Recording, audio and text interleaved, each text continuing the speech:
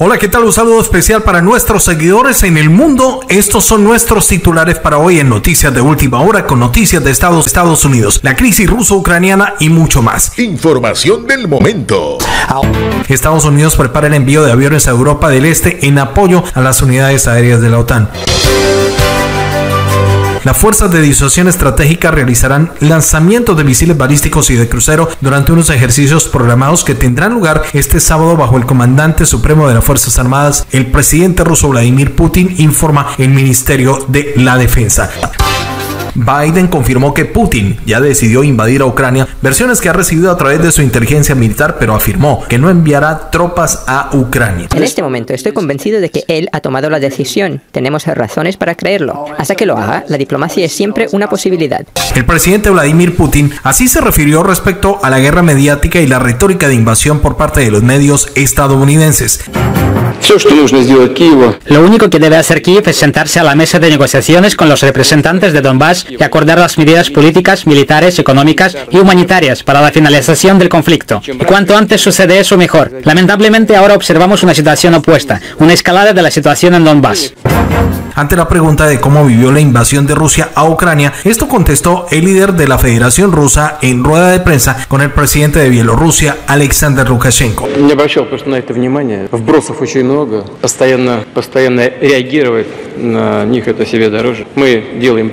Не обращал просто на это внимания. Вбросов очень много. Постоянно, постоянно реагировать на них это себе дороже. Мы делаем то, что считаем нужным делать, и будем так поступать дальше. Конечно, мы смотрим, что в мире происходит, вокруг нас происходит, но мы имеем четкие, понятные ориентиры, соответствующие национальным интересам российского народа и российского Respecto a las nuevas fechas de invasión por parte del gobierno de Estados Unidos y los medios estadounidenses, la portavoz de la Cancillería, María Zaharova, dice que la información de los organismos de inteligencia de Estados Unidos han fracasado. Se lo están tomando a broma, están bromeando sobre eh, cómo se están dando fechas de una presunta invasión que no llega a producirse. Incluso la misma portavoz de eh, la Cancillería rusa, eh, María Zaharova, esta misma jornada ha dicho que ha llegado tarde a su conferencia de prensa porque estaba revisando si ya habían invadido o no Ucrania periodista de Estados Unidos en Casa Blanca y que está dando la información desde Kiev, asegura que la estrategia de la invasión rusa a Ucrania no le está funcionando al gobierno de Joe Biden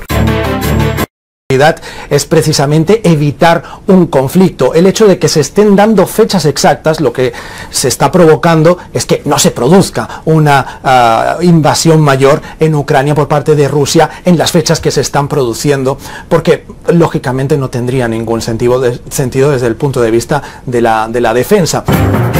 Así, Alexander Lukashenko también se refirió a la crisis ruso-ucraniana. Vladimir Putin acaba de comentar de manera muy suave el agravamiento de la situación en Donbass, pero por desgracia es así.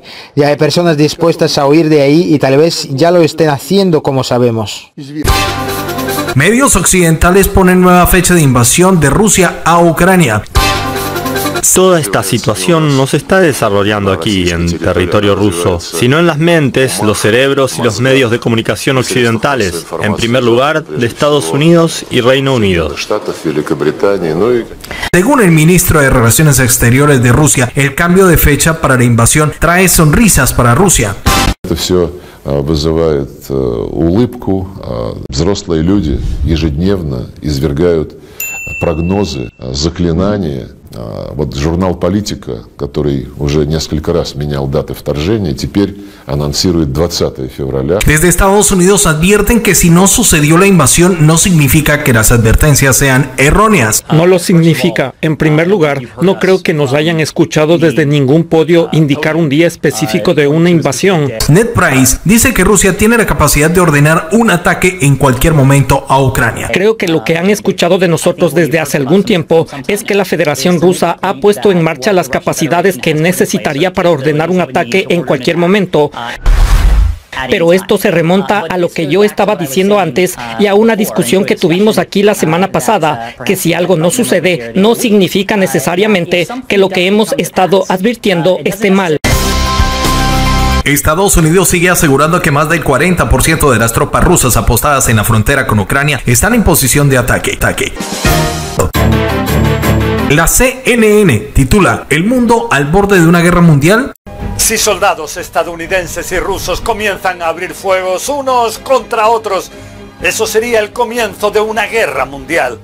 Así lo afirma nada menos que el presidente de los Estados Unidos, Joe Biden. Every indication we have is they're prepared to go into Ukraine, attack Ukraine.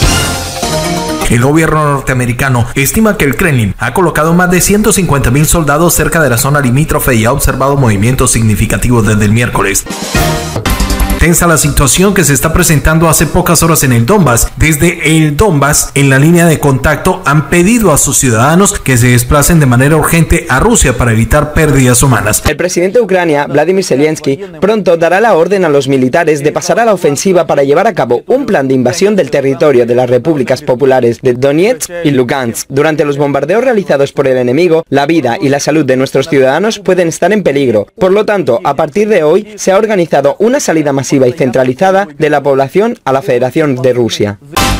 Según las autoridades en el Donbass, hay altas probabilidades de que el presidente Zelensky ordene una invasión en la línea de contacto. Creemos que los bombardeos están encaminados a provocar que la milicia popular responda al fuego, así como a crear un pretexto para el inicio de una agresión ucraniana en Donbass. Además, nuestra inteligencia continúa recibiendo información sobre los preparativos que tienen como fin desatar hostilidades. Nuestras fuerzas impidieron un intento de un grupo de sabotaje enemigo de ingresar en el territorio de la República Popular de Donetsk. Nuestros observadores detectaron el movimiento de dos grupos de fuerzas especiales de Ucrania de entre 10 y 12 efectivos. Se registra fuerte explosión en el centro de Donetsk. Nuestros defensores se vieron obligados a abrir fuego con arsenal corriente. El enemigo sufrió pérdidas y se vio obligado a retirarse. Al menos dos agentes murieron. Tres resultaron heridos. Según los datos de nuestra inteligencia, los saboteadores planeaban explotar un tanque con cloro en el recinto de una planta de tratamiento de aguas residuales. El secretario de la OTAN, James Stoltenberg, se siente satisfecho por el apoyo militar que le están prestando la organización de la OTAN a Ucrania para su defensa.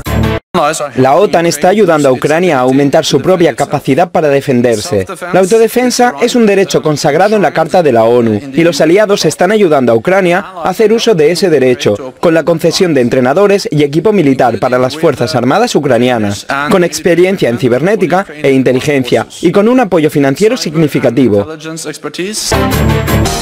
La Embajada de Rusia en Estados Unidos rechaza tajantemente las acusaciones del gobierno norteamericano sobre la implicación rusa en los ciberataques contra Ucrania. La vice asesora de Seguridad Nacional de la Casa Blanca para la Ciberseguridad y Tecnologías Emergentes responsabilizó a Rusia de los ciberataques que sufrió Ucrania esta semana expresidente de los Estados Unidos Donald Trump ha calificado como cacería de brujas la decisión de un juez de involucrarlo en la investigación por los hechos acaecidos en el Capitolio de Estados Unidos en el 2021. Según el juez, el discurso del exmandatario fue considerado por el Tribunal de Washington como un llamado a la acción colectiva en un acto no oficial. Por ello, no estaría dentro del alcance de la inmunidad presidencial. La OTAN ha cerrado este sábado temporalmente su oficina en la capital ucraniana Kiev y trasladará a su personal a Bruselas y Leópolis a unos 70 kilómetros de la frontera con Polonia, según reportó Bertensgang, citando a un portavoz de la alianza. Los invitamos a que se queden hasta el final del video. Y si les gusta el contenido, nos acompañen con la manito arriba. Si son nuevos, suscribirse al canal y activar la campanita roja de notificaciones. Aquí está el desarrollo del contexto de las noticias para hoy en Noticias de Última Hora. Noticias internacionales de hoy. La administración de Estados Unidos afirma que el presidente ruso Vladimir Putin ha tomado la decisión de invadir a Ucrania, confirmó este jueves el presidente estadounidense Joe Biden. En este momento estoy convencido de que él ha tomado la decisión. Tenemos razones para creerlo. Hasta que lo haga, la diplomacia es siempre una posibilidad. Cuando se le preguntó directamente si está seguro de que Putin tiene la intención de invadir a Ucrania, Biden respondió afirmativamente. Luego los reporteros preguntaron si esto significa que Washington corta su interacción diplomática con Moscú sobre Ucrania. Esto respondió Biden. No, hasta que lo haga, invadir a Ucrania, la diplomacia siempre es una posibilidad, subrayó Biden. Cuando se le preguntó qué razón tiene para creer que Putin está considerando este curso de la acción, Biden respondió, tenemos una capacidad de inteligencia significativa. Durante el mismo discurso, Biden afirmó que Putin ya tomó la decisión de invadir Ucrania. En este momento estoy convencido de que Putin ya tomó la decisión, dijo el presidente norteamericano. Estados Unidos no tiene intención de enviar fuerzas a Ucrania, pero protegerá el territorio de la OTAN junto con sus aliados dijo Biden. No enviaremos tropas a combatir en Ucrania, pero continuaremos apoyando al pueblo ucraniano, dijo. Estados Unidos y nuestros aliados están listos para defender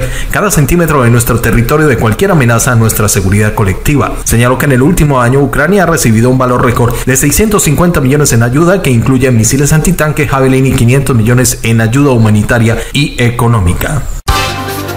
El presidente Vladimir Putin así se refirió respecto a la guerra mediática y la retórica de invasión por parte de los medios de Estados Unidos. Vladimir Putin ha reiterado este viernes que el restablecimiento de la paz y la reducción de las tensiones en Ucrania radica en el cumplimiento de los acuerdos de Minsk, postura que comparte también el presidente de Bielorrusia, Alexander Lukashenko, con quien también tuvo el encuentro en la jornada en Moscú. Ante la pregunta de uno de los periodistas presentes de cómo vivió Putin la invasión de Rusia a Ucrania.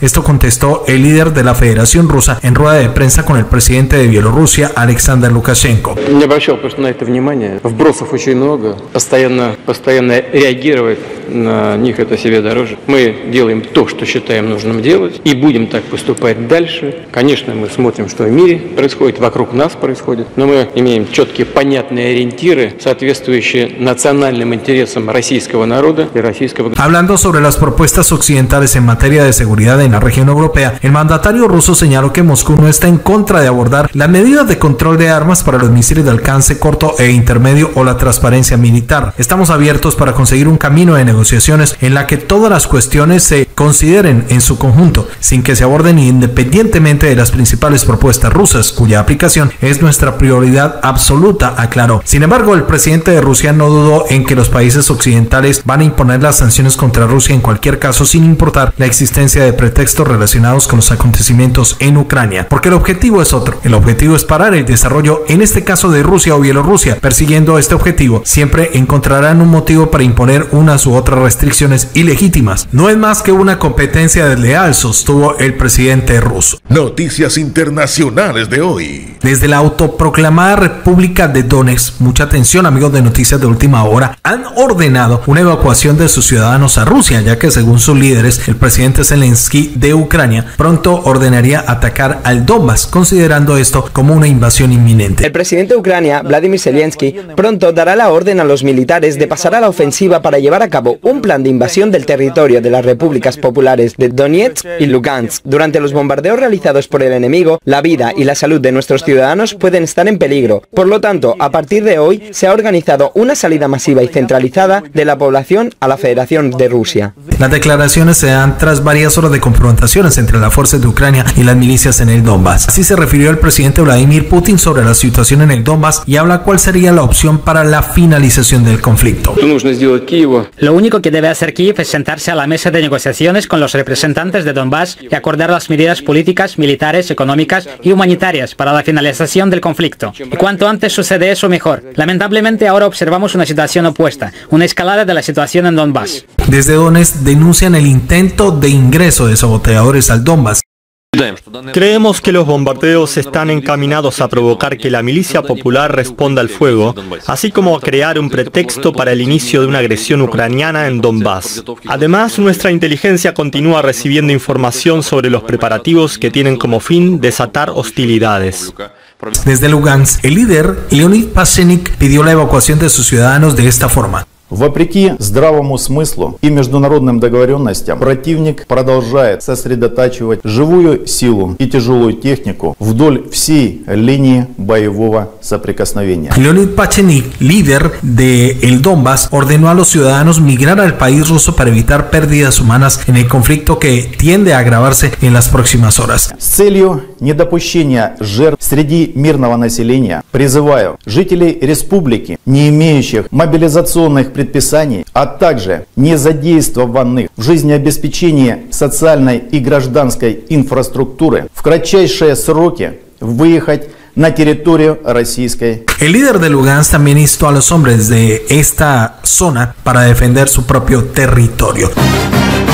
Федерации. Еще раз обращаясь ко всем мужчинам, способным держать в руках оружие, встать на защиту своей земли. De otro lado, muchísima atención porque se ha registrado en las últimas horas una potente explosión en el centro de Donetsk. La información que se recoge es que ha tenido lugar en las inmediaciones de la sede del gobierno de la autoproclamada República Popular de Donetsk. En el centro de la ciudad de Donetsk, en la región del Donbass, en el este de Ucrania, se ha producido este viernes una potente explosión cerca del edificio del gobierno de la autoproclamada República Popular, según RT. La milicia popular de Donetsk ha confirmado que explotó un coche aparcado en el estacionamiento al lado de la sede administrativa. Se precisó a través de un corresponsal de RIA Novosti, la explosión tuvo lugar en varias decenas de metros del edificio gubernamental, más o menos a las 19 horas locales. La onda expansiva se escuchó en toda la ciudad, indicaron los representantes de Donetsk en el Centro Conjunto para el Control y la Coordinación sobre el Fuego y la Estabilización en la línea de la demarcación de las partes de conflicto citados por la agencia local DAN. El jefe de la milicia popular de Donetsk, Denis Sinekop, ha comentado a Interfax que el coche destruido en la explosión era suyo, pero que nadie resultó herido. Se trataba de un auto militar del fabricante ruso UAZ. En estos momentos, equipos de emergencia revisan todo para asegurar que no haya más explosivos en la zona.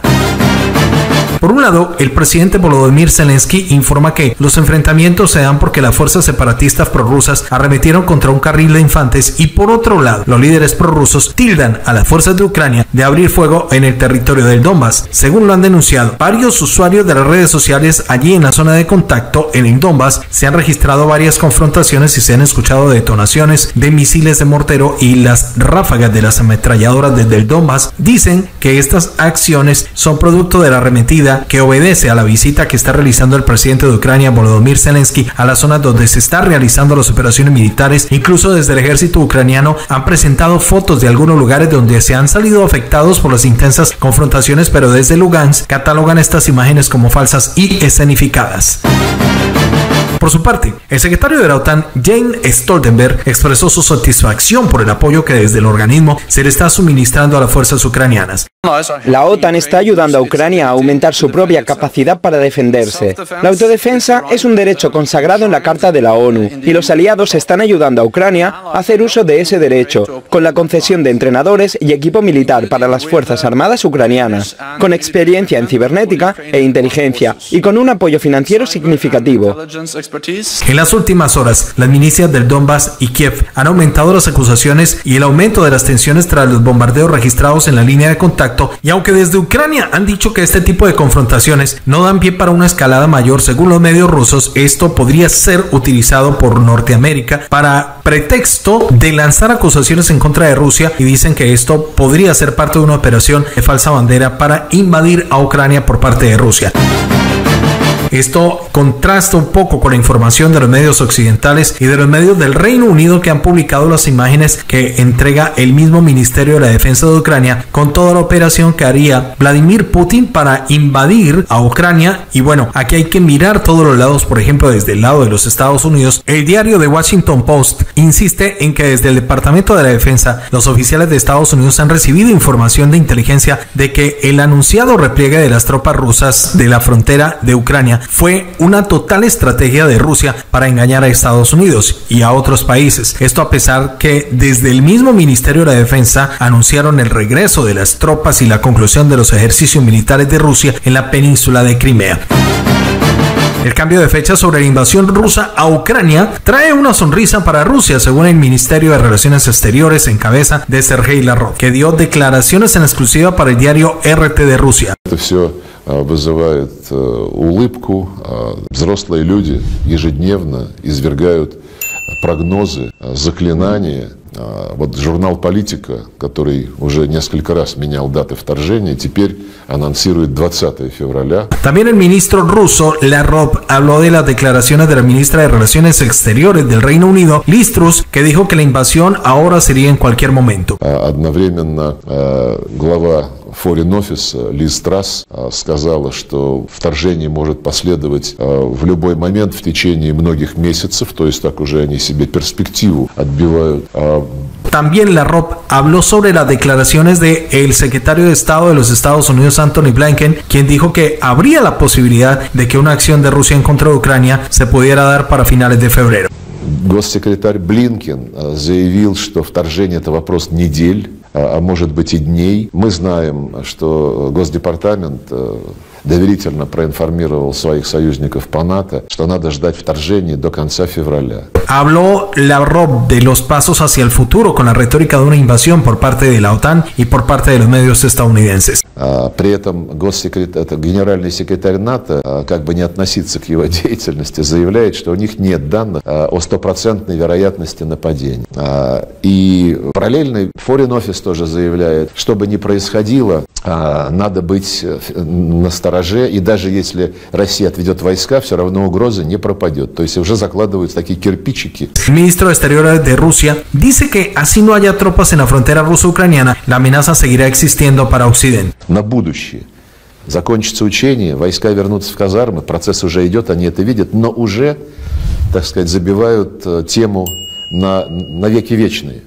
Даже если Россия вернет свои войска туда, где они постоянно дислоцированы, угроза от России исходит. Estos son los acontecimientos más importantes del momento. Por su parte, la portavoz de la Cancillería de Exteriores, María Zaharova, ha vuelto a ironizar comentarios hacia el gobierno de los Estados Unidos. Cito las siguientes palabras. Las referencias de Blinken, Saki, Price y los demás del equipo de propaganda de guerra a los datos que entrega inteligencia de Estados Unidos indican el fracaso de los servicios especiales. Y esto pregunta Zaharova, ¿cuál de estas estructuras entregó información falsa a la Casa Blanca? Pero avanzando con más datos de la crisis El diario político de Estados Unidos ya expone una nueva fecha para una nueva invasión por parte de Rusia a Ucrania. La CNN ha titulado en las últimas horas que el mundo está al borde de una tercera guerra mundial. Si soldados estadounidenses y rusos comienzan a abrir fuegos unos contra otros, eso sería el comienzo de una guerra mundial. Así lo afirma nada menos que el presidente de los Estados Unidos, Joe Biden. Every indication we have is they're prepared to go into Ukraine. Aunque desde el gobierno de Joe Biden advierten que si no sucedió una invasión no significa que las advertencias sean totalmente erróneas, o por lo menos esa es la posición que tiene el portavoz del Departamento de Estado Ned Price al ser preguntado sobre el fallido pronóstico de la invasión por parte de la inteligencia de Estados Unidos. Pero esto se remonta a lo que yo estaba diciendo antes y a una discusión que tuvimos aquí la semana pasada, que si algo no sucede no significa necesariamente que lo que hemos estado advirtiendo esté mal.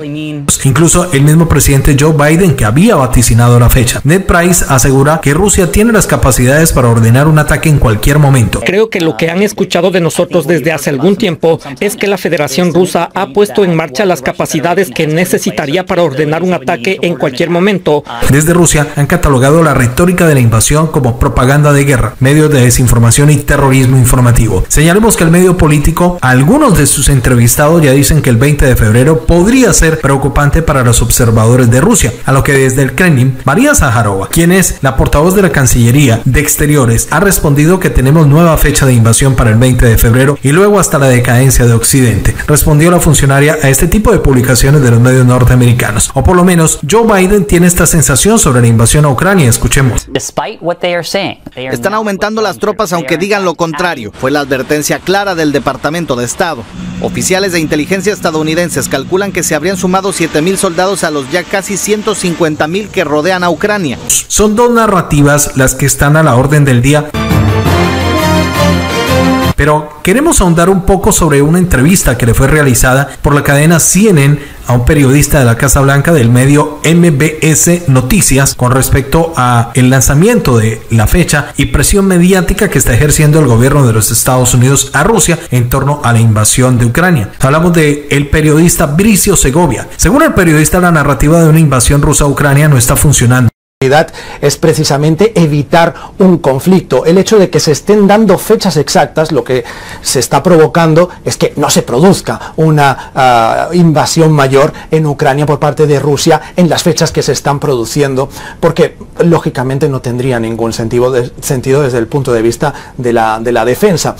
Y por el contrario, asegura que se lo están bromeando por parte de la Cancillería rusa. Se lo están tomando a broma, están bromeando sobre eh, cómo se están dando fechas de una presunta invasión que no llega a producirse. Incluso la misma portavoz de eh, la Cancillería rusa, eh, María Zaharova, esta misma jornada ha dicho que ha llegado tarde a su conferencia de prensa porque estaba revisando si ya habían invadido o no Ucrania. El comunicador especifica que Ucrania y el Donbass están en un conflicto desde la la misma fecha en que Rusia se anexió a Crimea en 2014 inicio de todas estas tensiones. ¿Por qué se anexiona Crimea en ese momento? Porque es una zona geoestratégicamente muy valiosa, tiene salida al mar y además Rusia alquilaba ya una nave, una base naval en ese territorio a Ucrania que desde luego desde que se lo anexionó, pues ese es dinero que se ahorra.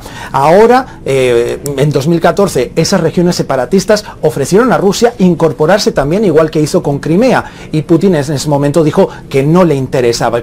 Y aclara el periodista a la CNN que desde la Unión Europea habían alertado del inicio de los bombardeos cuando la verdad es que esto es la continuidad del conflicto entre las milicias del Donbass y las fuerzas ucranianas. Una región que lleva en conflicto precisamente desde esa misma fecha. Y lo que hemos visto en esta jornada ha sido un ataque que se ha producido allí. El eh, jefe de la diplomacia europea, Josep Borrell, alertaba de que eh, habían comenzado los bombardeos en Ucrania, cuando realmente lo que está pasando es una continuación de un conflicto comenzó en esas dos regiones separatistas eh, de Ucrania en 2014. Y según el comunicador, por eso desde Estados Unidos no se ha iniciado una respuesta inmediata. Desde el anuncio de los supuestos bombardeos anunciados por parte de la Unión Europea, el periodista de la CNN le pregunta al comunicador sobre la retirada de las tropas de Crimea y la afirmación desde Estados Unidos que al contrario del repliegue anunciado por parte del Ministerio de la Defensa de Rusia, se ha visto al contrario, según Estados Unidos, aumento de las tropas en la frontera. Pregunta que si esto hace parte de una estrategia de Rusia invada o no el territorio de Ucrania. A lo que el periodista le ha respondido que todo esto es más una estrategia de disuasión, la que ya está exponiendo Rusia y al cual hace referencia desde Estados Unidos. La disuasión, según Segovia, en el lenguaje de seguridad es evitar un conflicto y afirma que en el hecho de que se estén dando fechas nuevas de invasión, lo que hace esto es que esto no se produzca. El periodista de la Casa Blanca dice que Rusia ha argumenta que esto no es más que un tema de propaganda por parte de Estados Unidos y el resto de los países que conforman parte de estas tensiones. Explica Bricio la importancia de la anexión de Crimea por parte de Rusia. Una región que lleva en conflicto precisamente desde esa misma fecha.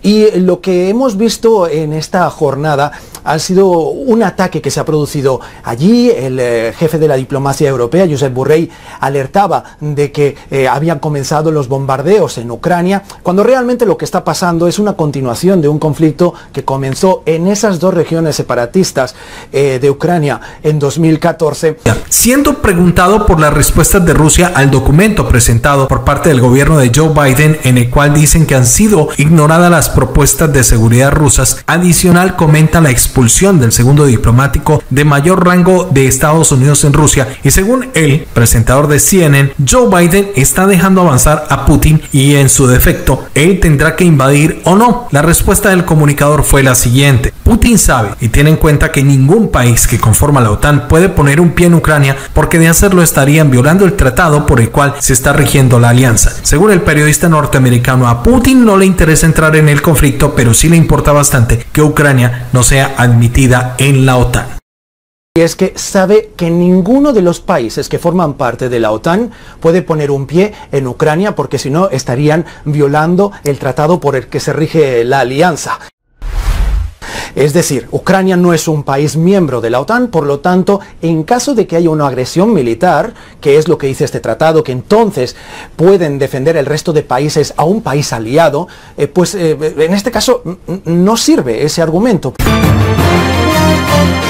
Mucha atención porque estas son imágenes entregadas por el Departamento de la Defensa de los Estados Unidos del envío de aviones de guerra al continente europeo, específicamente a Europa del Este, como parte del plan de apoyo de la administración Biden a la OTAN en el caso de que Rusia quiera invadir a Ucrania, pues estas unidades irían en el apoyo a las unidades de la OTAN. La Fuerza de Disuasión Estratégica de Rusia realizará el lanzamiento de misiles balísticos y crucero durante unos ejercicios que están programados para este sábado y que pues allí los estará dirigiendo el mismo comandante de las Fuerzas Armadas, hablamos del presidente ruso Vladimir Putin, informó el Ministerio de la Defensa en las últimas horas. Este simulacro va a tener la participación de las fuerzas y equipos de fuerzas aeroespaciales, Distrito Militar del Sur, Fuerzas de Misiles Estratégicos, la Flota del Norte y la Flota del Mar Negro. El ejercicio de las fuerzas de disuasión estratégica se habría planificado con antelación para poner a prueba la preparación de los órganos de mando militar de las dotaciones de lanzamiento de las tripulaciones de buques de guerra y de portamisiles estratégicos para tareas asignadas, así como la fiabilidad de las armas de las fuerzas estratégicas nucleares y no nucleares. El portavoz del presidente ruso Dmitry Peskov afirmó a los periodistas que el mandatario seguirá el ejercicio desde su puesto de mando. Ejercicios de este tipo, incluidos los lanzamientos de entrenamiento, son imposibles sin la presencia del jefe de Estado. Ustedes conocen el famoso maletín negro, el botón rojo. ¿De qué manera concreta participará? No en la información pública, dijo el vocero. Al mismo tiempo, Peskov